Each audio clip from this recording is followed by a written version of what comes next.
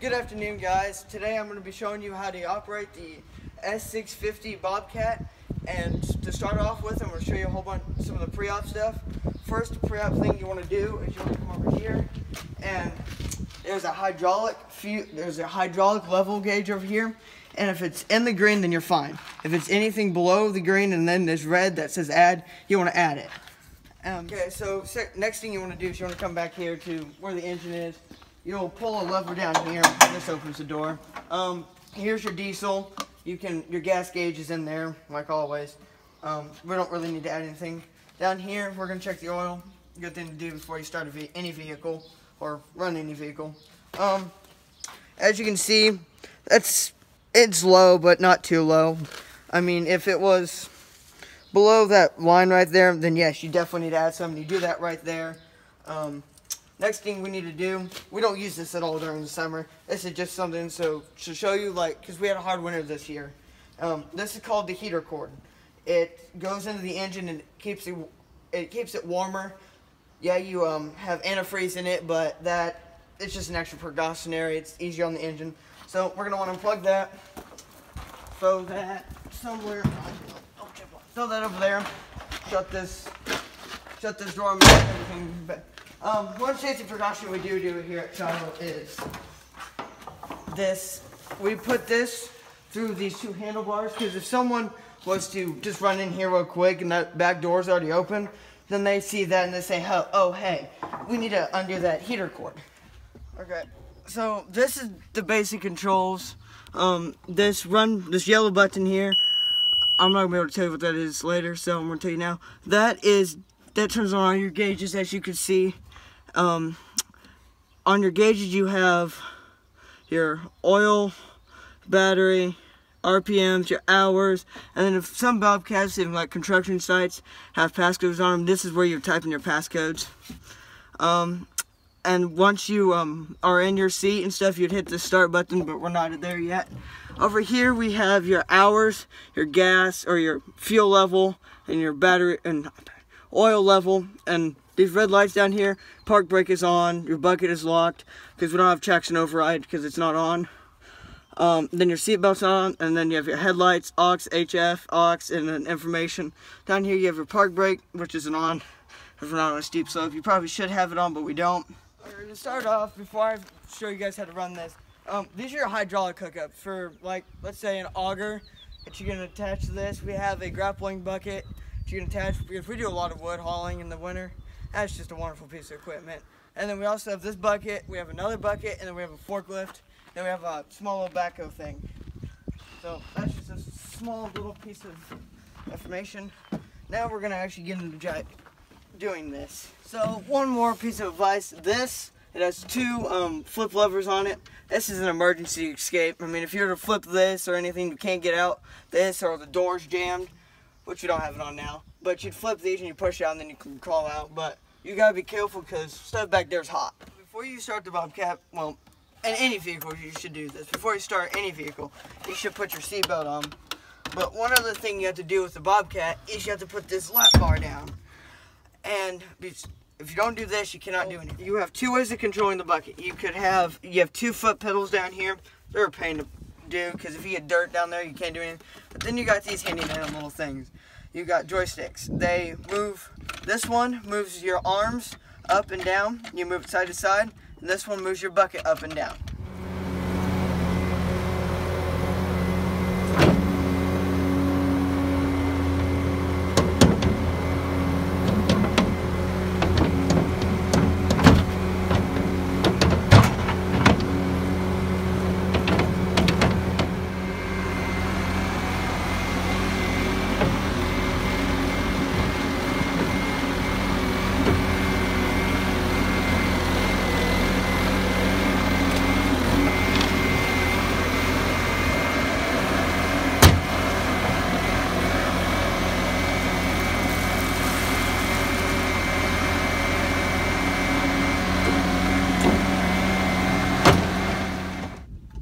So you saw um, me moving this earlier, and now I'm going to tell you what I actually did.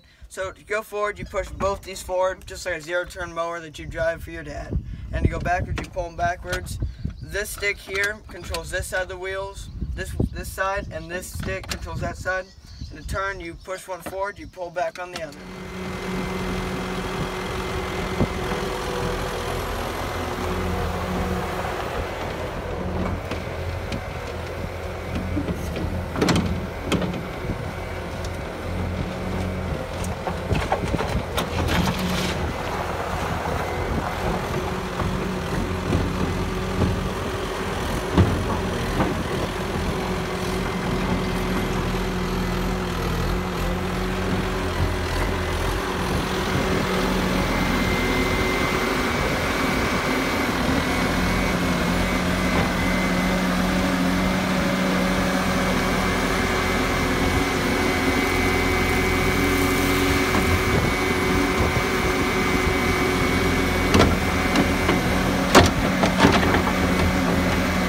Another safety precaution, guys, is you and the driver only move very little, but on the outside, you just gotta be aware because your bucket, your forks will move very, very fast. And I'll prove this later and uh, later after I take this bucket off and put the forks on. Guys, now we're gonna learn how to take off a bucket. Those two levers down there um, control pin that holds your bucket on.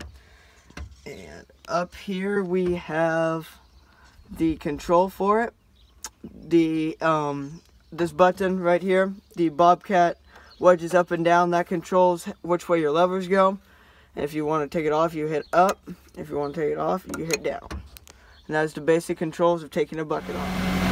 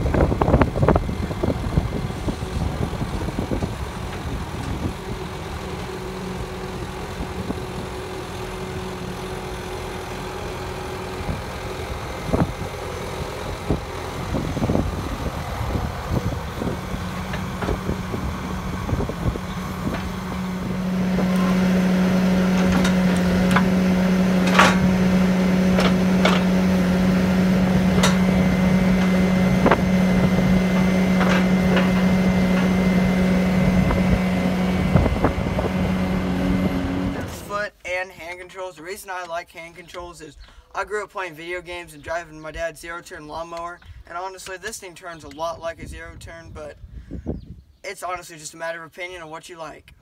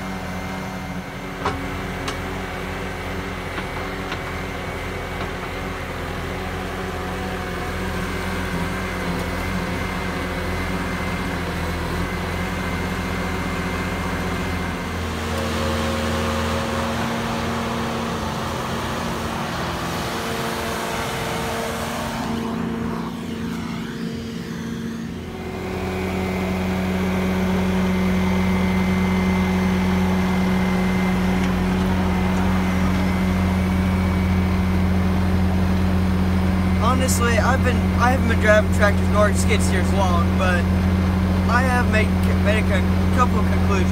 This piece of equipment is amazing for spreading gravel, spreading dirt, moving dirt quickly. I mean, if you get sit outside with a shovel and had to scrape a pile of dirt, you're, you're gonna be out there all week.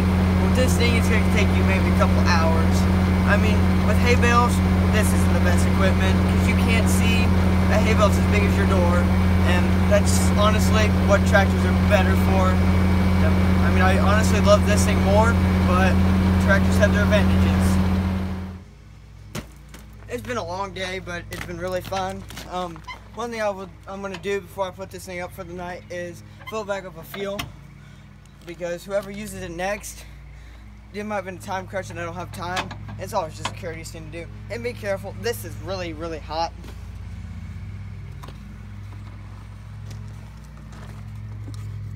Goodness, this thing is hot. When you're filling up this, when, when you're filling up the Bobcat with diesel fuel, you want to turn your Bobcat on, not on, you want to turn the run on, but turn all your gauges on and watch how much fuel you're putting in, because there's no real way to tell how much you're putting in this thing.